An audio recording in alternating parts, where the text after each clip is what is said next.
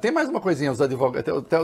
Ih, prerrogativa. Tudo advogado petista, tudo advogado de gente da Lava Jato. Ai, não gosto de advogado. Só gosto de advogado quando o advogado me defende. Aí eu gosto. Ah, bom. Então tá, vai. Os advogados ligados ao grupo Prerrogativas e também o deputado federal Rui Falcão entraram com um pedido na Procuradoria-Geral da República para que Augusto Aras investigue o contrato de Moro com a Álvares e Marçal. Eles pedem que sejam acionados a Receita Federal. Bob, outra tese do Titio Rei. Eu acho que tem que ter inquérito uhum. penal para investigar, pra, uh, na área penal mesmo.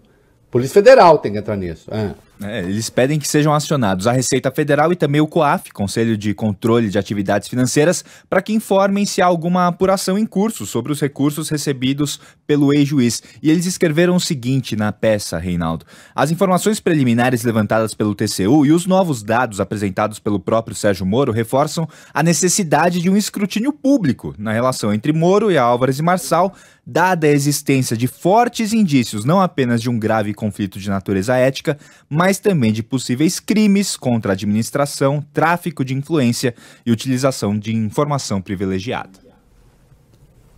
Eu morro de vontade de saber, desculpe a curiosidade, considerando a pouca experiência do juiz no direito, né? O juiz combate a corrupção, o juiz da corrupção, é, para ganhar mais de 300 pau por mês.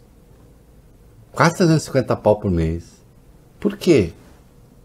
Por que, que ganhou só de luva de entrada 150 mil dólares? Com base em que experiência? O que é que tinha feito de notável? Especialista em legislação americana? Ah, não, vai trabalhar só com legislação, vai com empresas americanas. É mesmo?